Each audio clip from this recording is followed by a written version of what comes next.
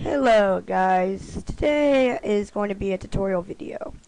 Um, I'm using my Windows, um, or my virtual XP, or my virtual PC, sorry about that, oh my god, this is loud, sorry about that.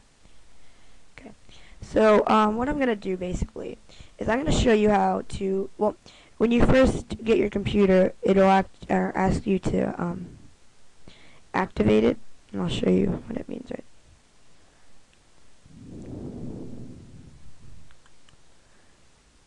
Okay, so it says let's activate Windows, and um, you will need a serial key for this. Now, um, um, if you lost your serial key, let's say, or you don't have it, whatever, you have a problem. I'm going to show you what you do to just activate it, okay? And you don't have to do anything really. Uh, sorry, I have a little microphone issue. Okay, so what we're going to do is we're going to first go to Start then we're going to go to run. And we're going to type in regedit. R-E-G-E-D-I-T. It's like that. And it'll bring up your registry editor. Okay. Now, what you want to do is you want to go to H key local machine, hit that little plus button. Then you want to go to, wait, is it software? You want to go to Microsoft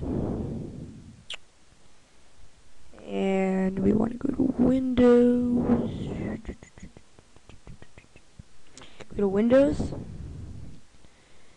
and go to current version. I went to current version right there, I see that? And then go to, wait, um, WAPE events, right? Wait.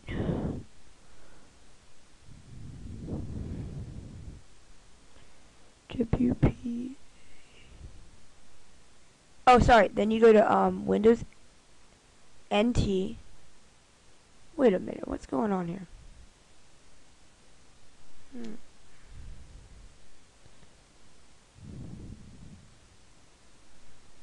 Current version.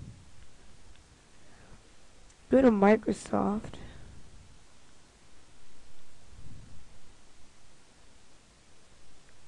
Here it is. Uh, oh, sorry, I went to Windows. Then you go to current version from here, and then you find WAP right here. Click on this. Now go to OO or OOBET timer. Now you'll get a binary value. I just erase all this, and you're gonna type in the code that I type in. Okay. Um, this code, I'll just show you what you type in. You type in FF D5 um, 7 1 D6 8B 6A 8D um, 6F D5 3 3 nine three and FD. Okay, so once you got that, you hit OK. Yeah, wait, hold on. Okay, that's good. Okay, so what you do after that, I think you're basically done. And if you go to Start and then All Programs, Activate Windows.